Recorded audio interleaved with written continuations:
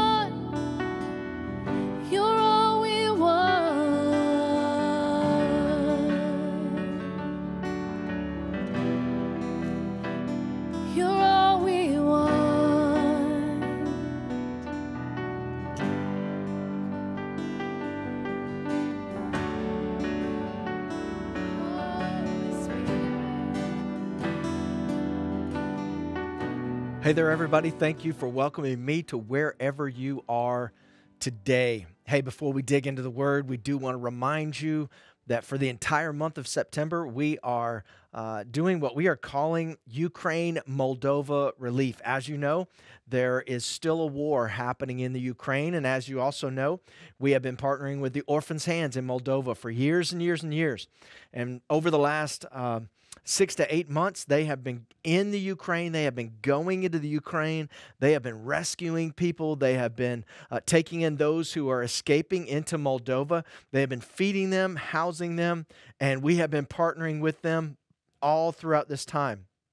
And I'm excited to announce today that as of September the 5th, I think, or 6th, we looked at our THP Compassion, our missions giving for the year. And as of to date, we have given over a $100,000 to missions already, which is the most that we have ever given in the history of this church, dating all the way back to 1943. We are so thankful to have the opportunity to partner with the Lord to get the gospel all over the globe, uh, to rescue, to relieve, to restore, all those different things that we talk about. And what we are doing for Ukraine Moldova relief is we are taking in uh, at drop off locations throughout the month of September uh, coats, blankets, personal items, all of those things. If you're not in our area and you can't drop off, we encourage you to give. THPShreveport.com. You can click on the online giving. I would encourage you to click on the realm. And if you do not currently have an account, go ahead and set that up. And uh, you can give through that. Give to THP Compassion. And in the note, Ukraine, Moldova Relief. And we are going to be getting everything that's given. Uh, we're using that to buy personal items, to buy coats, to buy blankets, all those different things. And then what we are doing is on October the 8th, we are packing everything up. Philip Cameron will be here on campus October the 9th. They will have uh, a truck. They will put it in that truck. They will take it, and then it will be shipped uh, to not Ukraine because they're closing off ports, to Romania, and then trucked across to the Ukraine. So a lot of different moving parts, but you can give, and I want to encourage you just in your giving. You know, we give ourselves to the Lord first, and then we give of our provision. We give to the Lord, and and it is so encouraging that when we give first, our very first is our very best, and the Lord deserves our very best. You may call that your tithe, you may call that your first fruit, whatever you call that. We believe in that, and so I encourage you in your giving. If you're a part of the online community, and this is a feeding ground for you per se, this is a place where you grow and mature. I want to encourage you: sow a seed give you know give of yourself to this uh, there's a lot of different moving parts in this a lot of different people that are involved in bringing this to you and uh, we just encourage you to be a part and to partner with us in giving as we partner with the lord all over the world so with that Acts 2:42. We have been in this thing we're calling Jesus Church and we are landing this thing. Now, we are we're not landing to stop what we're doing. We're simply transitioning. But as far as Jesus Church, this concept of what is the church, we are kind of landing today in our last message of this Jesus Church. In Acts 2:42, we've been talking about this uh, for weeks now. And they devoted themselves to the apostles' teaching and the fellowship, to the breaking of bread and the prayers. So, for the last several weeks, we've been talking about what does it mean to be Jesus' church. Let's read again what we what Jesus said in Matthew 16, 18. I will build my church, right? And the gates of hell shall not prevail against it. So we talked about in Jesus' church, we as the body, not a building, we as the body, that Jesus is the foundation. Jesus the Christ, the Son of the living God, is the foundation. Jesus is building his church on that foundation. He is building it, not us. And that now we, as living stones, the small stones, that we fill with the power of the Holy Spirit, the power of the Holy Spirit. Jesus is building his church. And we went back to the original, uh, Acts 2.42. Uh, what was the four priorities? What were the four priorities of the early church? Well, it was the apostles' teaching. Teaching, we talked about that. We talked about what it means to be truly in fellowship with Jesus and one another. Koinonia, participation with one another. To the breaking of bread, not just in just like communion, but what does it really mean? And today we land at the prayers. Now, listen, we believe in this so much that here on campus we have taken Wednesdays. We're calling them first things. First things Wednesday night. And on these Wednesday nights, the first Wednesday night, we're doing teaching. The second Wednesday night of every month, we're doing fellowship. The third, we're doing the breaking of bread. The fourth, we're doing the prayers. We believe that these are priorities, not just for the early church, but for us as the church. These are priorities. And so, where we land today is we're going to be talking about the prayers. Now, again, Jesus said, that I will build my church. And one of the things he said in that scripture was this. Now, pay attention to this. Jesus didn't say the gates of hell would not prevail against him, but rather against his church. Catch that. He said, I will build my church, and the gates of hell shall not prevail against it or them, us. The gates of hell shall not prevail against us. He used the term the gates of hell. That's a defensive. When you think of gates, you don't think of something that's moving forward. You think of something that's standing ground. Whatever's behind it, it's guarding it, right? It's a defensive posture. But I'm thankful that I serve a king and I serve a kingdom that's not defensive. We're on the offensive. We are on the offensive. We're moving forward. We're growing. We're maturing. And as the gates of hell stand, why is that gates of hell defensive? Because the kingdom of darkness holds many people captive behind those gates for whom Jesus died. Listen, we're not just proclaiming Jesus to the world. We are proclaiming Jesus to the world for people who are held captive by darkness, by the enemy of our soul, that the gates of hell have them held captive. And we are declaring Jesus. Jesus is building his church, and the gates of hell, those very things, can't hold us back. We have broken through that, and now we are declaring Jesus for those who are held back. We are on the offensive. We are taking ground, right? We are taking ground for the kingdom of God. And Paul understood this. Paul understood the defensive posture of the gates because he said this in Ephesians chapter 6 For we do not wrestle against flesh and blood, but against the rulers, against the authorities, against the cosmic powers over this present darkness, against the spiritual forces of evil in the heavenly places.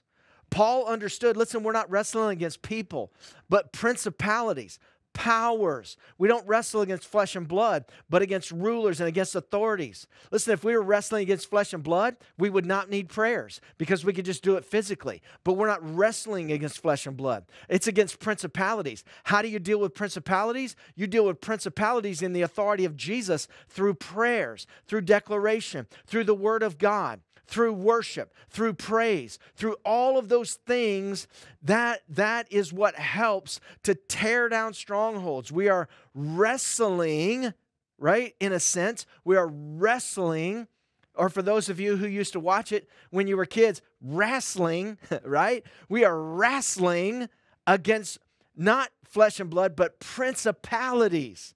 How do you deal with that? It's in Jesus' name. That's how we deal with it. He's building his church, and those gates cannot prevail against us. And so, what we want to talk about today in the prayers, listen, it's plural today. It's not the prayer, it's the prayers. One thing I want to talk to you about today is this the power of the tongue. Because there's a misconception about prayer that prayer is simply a posture of the mind. And that's a misconception. Throughout the Word of God, prayer is speaking, it's declaring, it is speaking to God, it is declaring the Word of God. It's not just thinking. Moses cried out to the Lord, saying, not thinking. Hezekiah prayed to the Lord, saying. Jesus taught his disciples, when you pray, say, Our Father who is in heaven. Listen, how many of you are thankful that the Lord is not looking for our thoughts? How many thoughts do you have every day? There's this misconception that if I think it, then God knows it and He'll answer it. But that's not the way that God defined prayer. He didn't define prayer as thinking. How many thoughts do you have throughout the day? Listen, we, we get this misconception that, oh, I'm just gonna, I'm just gonna think about it. Well, guess how many more thoughts are in the midst of that thinking? Guess how many more thoughts are coming in to all of that and mingling in? But when you declare it, when you speak it, when you verbalize it, it gets a focus. God's promise was not that He will answer our thoughts, but He would answer our prayers. Listen, life and death, according to Proverbs 18, are not in the power of the mind, but the power of the tongue. Not the power of the mind, but the power of the tongue. God knows our thoughts. Check this out. God knows our thoughts, but He answers our prayers. Man, that's a good word right there. Somebody needs to be dropping a bomb in the chat right now. Somebody needs a fire emoji right now, head exploding, whatever emoji that is. God knows our thoughts, but He answers our prayers. I'm so thankful that God is not throwing judgment on me for all of my thoughts. I'm taking those thoughts captive to the subjection of Christ. And then when I open my mouth, my words are not mingled with all those other thoughts because I've taken it captive. And now, what I took captive and I cast it out, now all I have left is what is to the Lord. And when I do that, it's not mingled with all those other nasty thoughts and those other bad thoughts and those other thoughts that the enemy has tried to get into my mind and get into my heart. But now I've taken them all subject to, the, to Christ, the authority of Christ. And now out of my mouth comes a focused prayer and a declaration to God, and He answers that. It's not just any words though. You can't just say any words. 1 John chapter 5 verse 14 and 15 says this. This is the confidence we have in approaching God that if we ask anything according to his will, he hears us. And if we know that he hears us, whatever we ask, we know that we have what we have asked of him praying according to God's will. How do I know God's will? Well, one way that you know God's will is in everything give thanks. Why? Because this is the will of God in Christ Jesus. That's what the Word of God says. Listen, if you go to God with thanksgiving, guess what? You're in His will. And when you go to God in thanksgiving, guess what that opens up? That opens up that now what you're speaking towards God is not filled with bitterness and anger and unforgiveness because you're thankful in everything you're thankful. Not for everything, but in everything and through everything, you're thankful. Lord, I'm not thankful for this trial. I'm not thankful for this thing that's coming against me, but in it, I am thankful because God, you've got me. Even when I don't feel like you got me, you got me. Even though I walk through the valley of the shadow of death, I will fear no evil, for you are with me, Lord. That if I'm in a valley and there's a shadow, that means there's light around the corner. There's always light. There's always light. I'm never alone. I'm never alone. You see how that changes everything. We go to Him with praise. We go to Him with thanksgiving. Why? Because now it changes our mindset, it changes the posture of our heart, and now what comes out of our mouth is in line with the will of God. The Word of God reveals God's will. Listen, when we think about praying according to God's will, it has to do with intimacy, relationship, proximity. Jesus said, I and the Father am one. I only do what I see the Father doing, right? Intimacy, relationship. Jesus knew the will of the Father. through what? Through intimacy, through relationship, that we are one. I'm tied, right? We are tied to the vine. The vine is Jesus, and the vine dresser is the Father. We are tied. As long as we're tied in, there's intimacy and there is relationship, and we can know the will of God. The Word of God reveals God's will. For example, James 1 5. If any of you lacks wisdom, let him ask God, who gives generously to all without reproach, and it will be given to him. How do you know how to pray God's will? Use the Word of God to pray God's will. James 1 says, What? If any of you lacks wisdom, let him ask God, who gives generously to all who without reproach, and it will be given to him. So you could pray this Father, I ask you for wisdom regarding this situation in the name of Jesus, and I thank you that according to your word, it will be given to me. Boom, you've just prayed God's will because it's in alignment with God's word. Listen, God's word also teaches us that God answers faith. Jesus said, Whatever you ask in prayer, believe that you have received it and it will be yours. Listen, reading and praying the word of God builds our faith. Praying and talking to God builds our faith. Praying for and with one another builds our faith. And when our faith is built, then what comes out of our mouth is in line with God's will.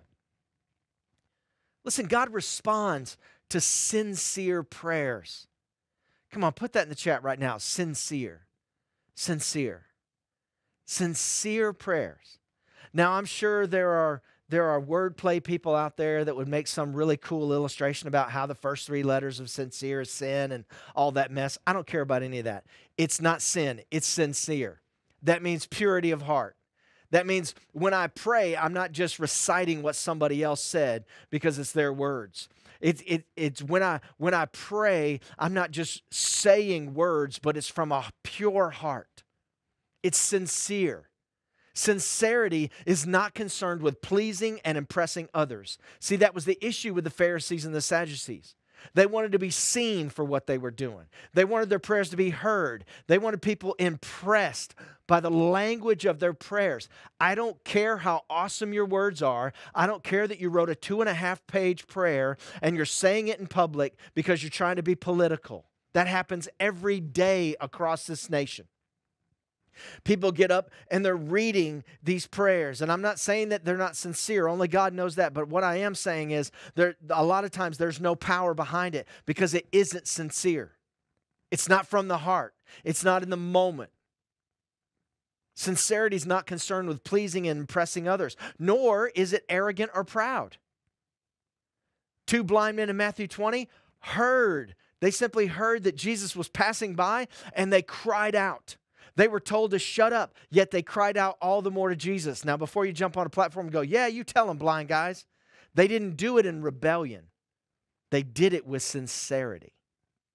They didn't do it to be rebellious toward those who told them to shut up. They did it with sincerity and heart, believing that Jesus could heal them. In Acts 12, Herod killed James, the brother of John, and he arrests Peter and he's intending to kill him. And Acts 12 5 says this Peter was kept in the prison, but prayer for him was being made to God intensely by the church.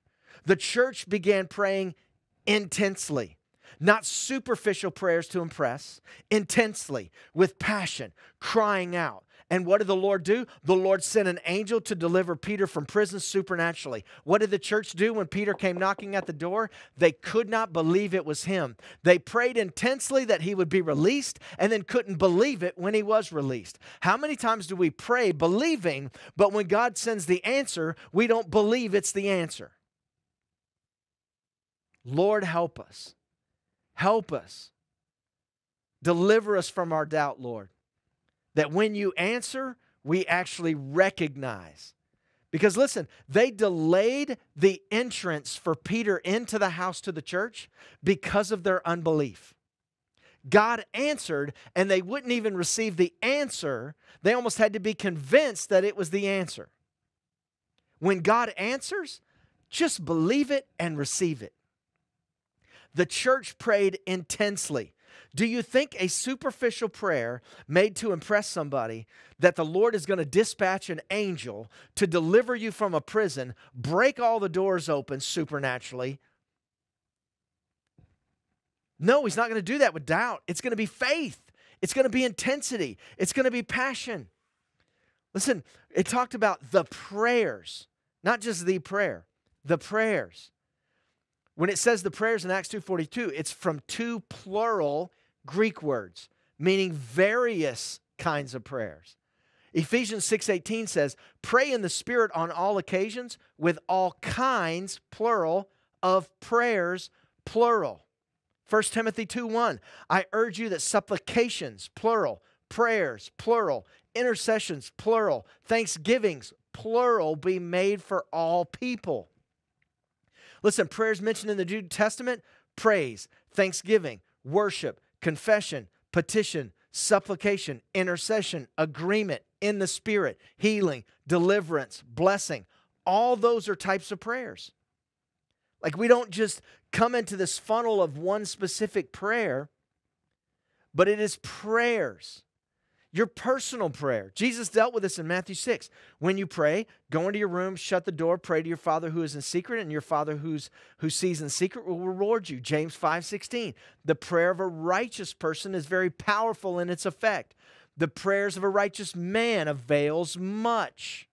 1 Thessalonians 5:17 tells us to pray without ceasing. Jesus people developed the habit of daily prayers, plural. Plural. Listen, when it says praying in the Spirit, listen, praying in the Spirit is a powerful, deeply personal way of praying. And I believe personally that it is one of the reasons why the enemy attacks this type of prayer so aggressively because it is deeply personal, it's deeply intimate. When we pray in the Spirit, there is a groaning, there is an intensity. And that intensity and that groaning comes out of a place of intimacy with the Lord. That's why I believe that the enemy aggressively comes after praying in the Spirit man, Scott, I'm just not sure about praying in the Spirit. Like, I'm just not sure, especially about like people who personally pray in tongues. I'm just not quite sure about that. You want to know one of the main reasons why the enemy comes to bring doubt to praying in the Spirit or praying in tongues personally? Is because of how intimate and deeply personal it is. That when you pray that way, you may not even know what you're praying, but you know that God is hearing you. You know that God is moving and doing something, even though you can't quantify what just happened. Because it's out of a place that only God knows. It's out of a place that, that only God knows what's inside of you. Praying in the Spirit not only helps us to pray without ceasing, but it also builds us up according to the Word of God. Listen, it allows the Holy Spirit to help us pray the will of God precisely. In Jude chapter 1, verse 20, write that down. Romans chapter 8, verse 26 and 27. The Holy Spirit helps us to pray the will of God precisely. And then we hear about this prayer of agreement, right? This prayer of agreement. And here's where we're going to land today. Jesus taught his disciples a powerful way of praying. Matthew chapter 18. Jesus said, Again, I say to you, if two of you agree on earth about anything they ask, it will be done for them by my Father in heaven. For where two or three are gathered in my name, there I am among them. Jesus began with these words Again, I say to you. What does that mean, Scott? He had already told them more than once. Again, I say to you. Okay, again, I say to you. What comes after that?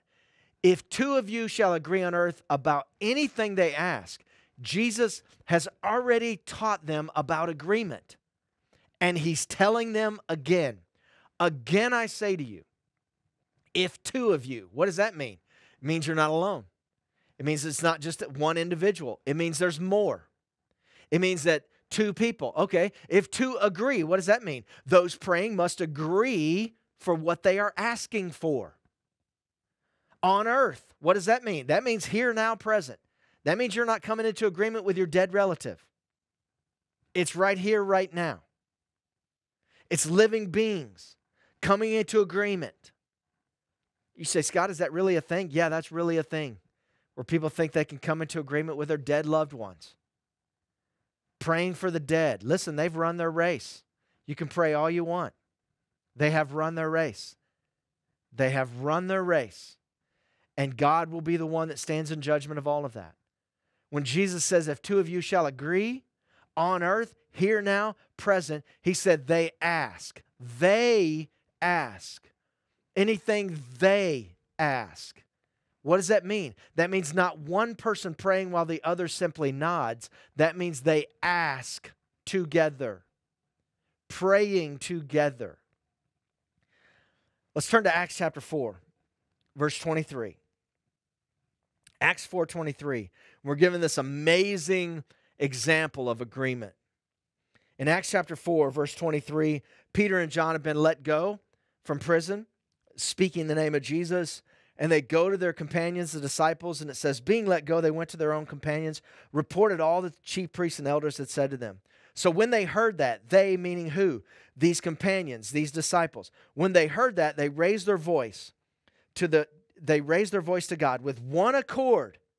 All these people raised their voice with one accord, almost as if it's one voice, and said, Lord, you are God who made heaven and earth and the sea and all that is in them who by the mouth of your servant David have said, Why did the nations rage and the people plot vain things? The kings of the earth took their stand, and the rulers were gathered together against the Lord and against his church. What are they doing? They're declaring the word of God. This is prophecy. They're declaring the word of God. They're praying the word of God in agreement with one another. Then they pray this.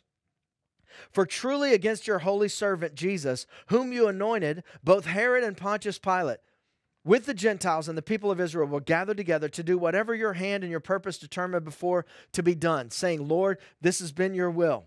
Now, Lord, it doesn't say kill Herod, kill Pontius Pilate. It says, Now, Lord, just look on their threats and grant to your servants, grant to us that with all boldness they may speak your word. That Peter and John have come back. Lord, that they may speak your word Grant unto your servants with all boldness they may speak your word, by stretching out your hand to heal, that signs and wonders may be done through the name of your holy servant Jesus. And when they had prayed, they had prayed. They had prayed. Not Peter had prayed by himself. Not John had prayed by himself. When they had prayed, the place where they were assembled together was shaken. They were all filled with the Holy Spirit. And they, not just Peter and John, but all of them spoke the word of God with boldness. Now, that's a prayer. These believers were praying the prayer of agreement. They all agreed, they all prayed, they all cried out. They prayed in such unity that the word of God says it was as if it was one voice and one mind. And how did God respond to this prayer? Look at Acts 5, verse 12. And through the hands of the apostles, many signs and wonders were done among the people, and they were all with one accord in Solomon's porch. Yet none of the rest dared join them, but the people esteemed them highly. Listen, don't think that God's not answering your prayer just because everybody's not joining you, just because everybody's not coming to Christ. You pray that prayer of faith with a sincere heart and believe that God will answer. They did not get discouraged. They didn't quit because nobody came to Christ, because people weren't just rushing in to come to Christ. It says, none of the rest dared join them, but the people esteemed them highly, and believers were increasingly added to the Lord. Listen, those people didn't rush in, but now people are coming. People are coming. These people didn't, but these people are hearing the word and they're coming. Multitudes of both men and women and believers were increasingly added to the Lord, so that they brought the sick out into the streets and laid them on beds and couches, that at least a shadow of Peter passing by might fall on some of them. And also a multitude gathered from surrounding cities to Jerusalem, bringing sick people and those who were tormented by unclean spirits, and they were all healed. Did everybody that was ever prayed for in the New Testament get healed? No. Did all of these people get healed? Yes. Well, what's the difference, Scott? Sovereignty of God. God is still sovereign. The sovereignty of God, the will of God. But what do we do? What's our part in it? We pray in faith and sincerity of heart. We pray. And too many times when we pray our prayers, plural, we are praying for an expected outcome that we already see in our own mind. And isn't it amazing how it always is to our benefit? Listen, sometimes when we pray and God moves, it's not necessarily to our benefit. It will be, God will work it out for our benefit, but it may not look like it. I just made this statement last night in a class. I said, hey guys, man, we pray and we pray in faith, but are we willing to receive the actions of that prayer? We love miracles, signs, and wonders, but we love the concept of miracles, signs, and wonders only if it benefits us. So if I pray that everybody in Christus Schumpert Hospital gets healed and they get healed, guess what happens the next day? People are losing their jobs. Why?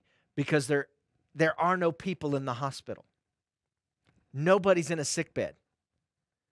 You don't need janitors for certain wings of the hospital anymore. You don't need nurses. You don't need doctors. Why? Because everybody got healed.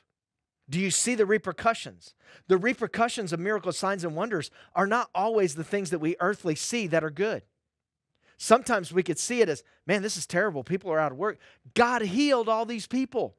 And that was the difference between the apostles and the disciples, the believers and the Pharisees is that the apostles and the disciples, whatever happens, man, it is God and it's going to work for our benefit. It may not look like it.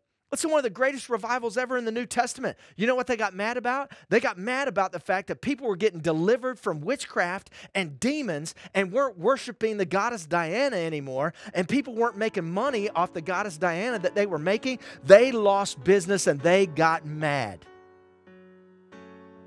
What about the demoniac when Jesus heals the demoniac? And the spirits, the legion, goes into the pigs. Guess what? The people who were screaming about wanting the guy delivered, he gets delivered, and now they're mad because they had lost money because of these pigs that had gone and drowned themselves. And Jesus could do no miracles there. He had to go to the other side. And when he went to the other side, guess what happened? Miracles, signs, and wonders. And Jesus stayed with them. Why? Because they didn't care about the repercussions, they wanted Jesus. Understand that our prayers, when they are when they are focused in with faith and sincerity, man, it does some damage. It breaks down some strongholds. It tears some things down that need to be tore down. And when God brings an answer, it always doesn't look the way that we think it should. Peter didn't look like Peter then. He looked like an apparition. He looked like a ghost, and they were afraid. Because the lens of doubt had covered their eyes. They were praying intensely with faith and sincerity of heart, but when God brought the answer, the lens of doubt came in. Guess what? If the enemy can't catch you in the middle of your intense prayers, he will try to bring doubt when the answer comes. That's a good word right there, y'all. Jesus' church is a praying church. Not just one kind of prayer, but all various kinds of prayers because we recognize that every situation isn't the same. Every person's situation is not the same. Every scenario is not the same, even if the same people are involved. If it's a different day, a different time, it is a different season. Sometimes we're going to pray and it's going to be loud and aggressive. Sometimes we're going to pray and it's going to be very quiet, almost like a whisper. There's going to be times that we do warfare and it's very aggressive, and there's going to be times we do warfare and it's very quiet. Why? Because the season, the moment, the moment, the season kind of dictates that. And so, what I want to say to you today is that Jesus' church, being built by Jesus, it's on Jesus, being built by Jesus, it is powerful because of the power of the Holy Spirit. And what do we do now? Listen, it is the teaching, it is the teaching, doctrine. We need it, we got to have it. Fellowship, koinonia, we've got to be a part of it. Not just be a part of it, but we got to share in it and we got to give a share too. We receive from it and we give to it. The breaking of bread, that intimate breaking of bread, where we see the elements and we see that breaking of bread, and Jesus gave us this physical manifestation of a very spiritual act. And then the prayers, the prayers, the prayers, the prayers. The prayers. And so, right now, I want you just to lean in and I want you to pray. Not a prayer that I'm going to pray, but I want you to pray. Where, where is it right now? Where are you in your heart right now? You pray. You lean into that right now, right where you're at. Maybe it's praise. Maybe it's worship. Maybe it's intercession. Maybe it's agreement with somebody that's with you right now. Whatever that prayer is, you pray it right now. And we're going to believe that as you pray in faith and sincerity of heart, that God is going to answer you. But when He does, make sure that you see it as God gives it, not as you want it to be. Listen, Jesus Church, man, this has been amazing.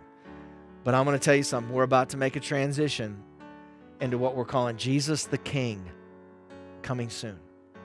Jesus is coming back. How do we prepare for that? That's where we're going to dive in throughout the rest of the year. Jesus the King coming soon. You're not going to want to miss this. It's going to be awesome. So let us know what God is doing in your heart. Let us know if you have any requests or prayer requests, mediahub at thpshreveport.com. And uh, we will love to hear those things and get right back to you. God bless you. We love you.